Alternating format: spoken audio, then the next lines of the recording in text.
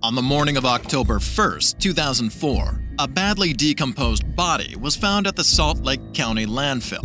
By afternoon, the body had been identified as that of 27 year old Lori Hacking, bringing a close to the three month search for the 27 year old pregnant wife. In July, when her distraught husband had begged for her safe return, no one could have seen this end coming.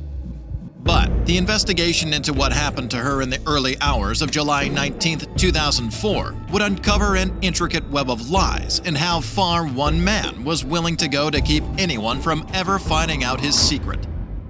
On a trip to Lake Powell in 1994, Lori met fellow high schooler Mark Hacking. Sparks flew from the moment they met, and the two were inseparable. Three years later, the high school sweethearts tied the knot. They were young and deeply in love. Neighbors often saw them running together, and occasionally, Mark would be seen heading home with a bouquet of flowers. Lori's mother told everyone who would listen that she couldn't have asked for a better son in law. Five years into the marriage, Lori was pregnant and happily told her parents. The news came with mixed emotions. They were excited to be grandparents, but Lori and Mark were also preparing to move across the country to Chapel Hill, North Carolina. In preparation for the move, the couple had a lot of their possessions boxed up and ready to go. Lori had also put in her resignation from her job at Wells Fargo, where she worked as a trading assistant. That Friday, the office got her a farewell cake. It read, We'll miss you, Lori. They had no idea how true those words would turn out to be.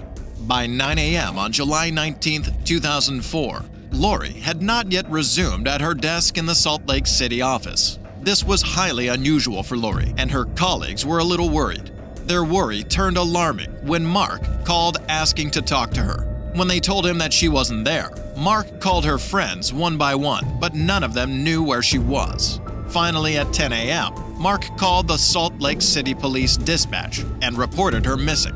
Lori, he said, had not come home since she took her three-mile jog through Memory Grove Park and City Creek Canyon at 5.30 that morning. Mark said he had gone to the park to search for her and found her car parked at the entrance, but there was no sign of Lori. The police said she needed to have been missing for 24 hours before they could even begin searching for her. However, Lori's friends and families were not willing to wait that long. They swept through the area, calling out for her. By the next day, the family was on TV begging for information on anyone who had seen Lori anywhere. Missing posters started to go up around town as friends flew in from all parts of the country to lend their support. Soon, the story of the pregnant woman who had disappeared into thin air was making headlines all over, especially because of the similarities between her disappearance and that of a 14 year old girl who went missing in June 2002 and wasn't found for nine long months. Within days, the search team went from 200 volunteers to over a 1,000.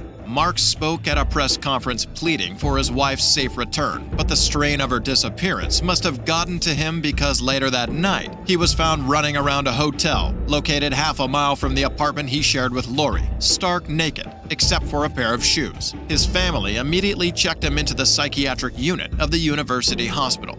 The entire community felt sorry for him, but not everyone. Top on the list was the Salt Lake City Police. In fact, they had their suspicions about the grieving husband's actions. He was psychotic enough to strip naked, but not enough to go out barefooted. They were sure that it was just a ploy to garner sympathy and divert scrutiny. This was because the investigators had found out some information about Mark that they were sure his family members didn't know about, but it was only a matter of time. They were right. Mark's family seemed to be learning new details about him daily. It started with the small things, like his smoking habit. A store clerk identified Mark as a regular who bought cigarettes and begged him not to tell his wife. Before they were finished, she turned around and told me, Don't tell my wife I smoke. Then it got bigger. Mark's family learned that though Mark studied psychology from the spring of 1999 through to the fall of 2002, there was no record that he had ever graduated. They also learned that his acceptance into medical school was a hoax. Mark had never even applied. It came as a shock to Mark's father. He had been to their home recently and seen everything boxed up ready for the big move to North Carolina. Mark had also hired a moving company and asked his father to help tow their second vehicle to North Carolina on moving day. Lori had even resigned. Could Lori have found out the truth and walked away? The family couldn't help but wonder. Salt Lake City investigators were pursuing a different angle in their search for Lori. From day one, the police had circled back to the couple's apartment to find any clues that would lead them to Lori's whereabouts. But what they found raised more questions than answers. A letter found in a spare bedroom allegedly written by Lori, a bloody knife found in the bedside drawer in the couple's bedroom, and a new box spring mattress and beddings. The receipt for the mattress showed that Mark had gone shopping for it the morning Lori disappeared. The police got search warrants and took a lot of items from the house for further examination. Searches around the neighborhood revealed many items of interest, like a bloodied trash bin and a cut up mattress that matched the couple's box spring. In a trash bin near the University of Utah Hospital, where Mark worked, they found a clump of dark hair in a dumpster outside. They also collected surveillance videotapes from a hospital, a Mormon church located near the park where she disappeared, as well as a convenience store to help track her movements on the day she disappeared. But instead of finding Lori on the tapes, they saw Mike, between 9:45 and 10:23 a.m. on the day Lori went missing, he was buying the new queen-size mattress at a local bedding store instead of running through the park searching for Lori like he had claimed. There was also the little matter of her car. Lori's car had been located near the park where the seat had been moved all the way back, like you would if you were a much larger person. Lori was only 5 foot 3 and 115 pounds. There was no way she adjusted the car seat. In addition, the police had found the keys to the car back at the couple's apartment. If she had driven the car to the park to jog, as Mark had said, the key should have been with her when she disappeared or left behind in the car. The only way they could have made it back home was if someone took them there, leading the police to question if Lori ever made it to the canyon at all, and their one person of interest was Mark. They weren't the only ones thinking that way. On July 24th, two of Mark's older brothers, Lance and Scott, went to visit him at the university's hospital psychiatric ward. It was not a cordial visit. Rumors had started going around town that Mark might have had something to do with Lori's disappearance. Even though Mark and Lori's parents tried to address Mark's lies and get the search focused back on Lori, the number of volunteers went down from over a thousand to 150. They gave Mark the afternoon to think over telling them what had happened to Lori. At 11 p.m., the two returned. It was then that Mark made a shocking admission. Lori had not gone on a run or been kidnapped. He had murdered her. The horrified brothers were too shocked to know what to do with the information. At first, they thought it was another lie. After all, just two days earlier, Mark had looked his father in the eye and denied having a hand in her disappearance. There was also the little thing about him having a psychotic breakdown. Could he just be saying what they wanted to hear? Even so, the following night the family made a decision and informed the police and Lori's parents about what Mark had said. On July 31st, two weeks after Lori's disappearance, the 1,800 volunteers searching for Lori and hoping for her safe return for two long weeks were informed that Mark had confessed to her murder. The search was called off and a search to recover her body began. A few hours after Mark tossed his wife's body in the dumpster, it had been taken to the Salt Lake County landfill. A volunteer team of police officers, firefighters, public safety officials, and urban search and rescue team members, together with cadaver dogs and backhoes, began searching for her body amongst the thousands of tons of garbage. They spent an average 11 hours a day, four days a week, digging through the trash, sometimes by hand. The search at the landfill was supposed to last about a month, but when they hadn't yet found her body, the prosecution decided to build a case without it. They had Mark's confession to his brothers and the material evidence they had gathered. Lori's blood had come back a match to the blood that had been found on her car, on her bed's headboard, mattress, and railing, as well as the blood that was found on the bedroom carpet and the knife found in the kitchen. There was also a letter Lori had written just days before her death. It read like she was speaking from the grave. She wrote, I hate coming home from work because it hurts to be home in our apartment. I can't imagine life with you if things don't change. In addition, investigators had uncovered a number of surveillance videos that picked Mark at different times around the time Lori was murdered. One clip showed Mark at a convenience store buying cigarettes at 1 a.m. Another clip showed Mark disposing of something in a dumpster and then driving Lori's car towards the park.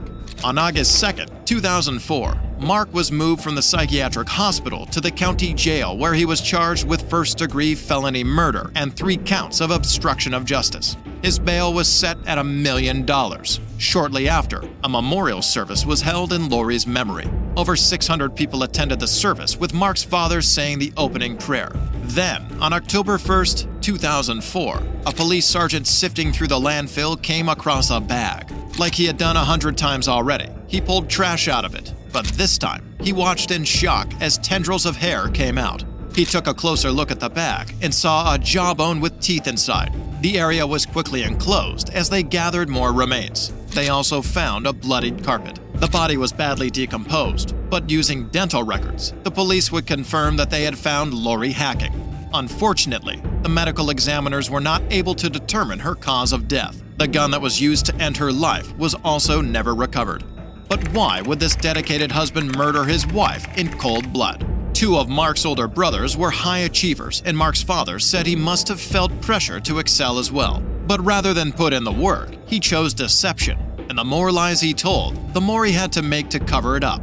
Mark had lied about going to college twice. The first time in 2000, his mother had found out and left a voicemail asking him why he was not enrolled. Lori had heard the voicemail first. When she confronted Mark, he took off in his car. She eventually found him at a hotel an hour away. Mark had claimed he was stressed with work and forgot to register. He promised to register and Lori believed him, but Mark had not enrolled. He never did.